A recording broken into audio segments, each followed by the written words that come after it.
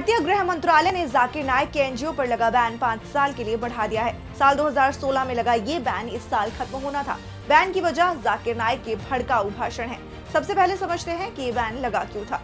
जुलाई 2016 में बांग्लादेश की राजधानी ढाका में पाँच आतंकियों ने हमला किया। इस हमले में 29 लोग मारे गए। घटना की जाँच में आतंकियों ने बताया कि वो जाकिर नायक के भाषणों से प्रभावित हैं। इसके बाद जाकिर नायक के एनजीओ इस्लामिक रिसर्च फाउंडेशन पर यूएपीए के तहत बैन लगा दिया गया साल 2016 में ही जाकिर नायक भारत छोड़ मलेशिया भाग गया था पर मसला यह है कि कई देशों में बैन किए जाने के बावजूद जाकिर नायक के कई वीडियो अभी भी इंटरनेट पर मौजूद हैं। इतना ही नहीं गूगल पर जाकिर नायक के करीब 40 लाख वेब पेज मौजूद है। यूट्यूब पर पिछले एक साल के डेटा के अनुसार भारत में सबसे ज़्यादा जम्मू कश्मीर में जाकिर नायक को सर्च किया जा रहा है। इसके बाद मेघालय, असम, पश्चिम बंगाल और मणिपुर में जाकिर नायक को सबसे ज़्यादा सर्च किया गया है।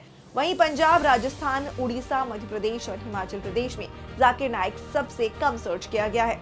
सरकार की माने तो इस्लामिक रिसर्च फाउंडेशन अब भी ऐसी गतिविधियों में शामिल है, जिससे देश की सुरक्षा को खतरा है। खुद को इस्लामिक धर्म का प्रचारक बताने वाले नाइक पर देश के धार्मिक समूहों के बीच नफरत को बढ़ावा देने और एक खास धर्म के युवाओं को आतंकवादी गतिविधियों में शामिल करने का आरोप है। इसलिए ही ये बैन बढ़ाया गया है, पर इंटरनेट पर नायक की लोकप्रियता बताती है कि वो इसके ज़रिए अभी भी लोगों को प्रभावित कर रहा है, जो एक चिंता का विषय है।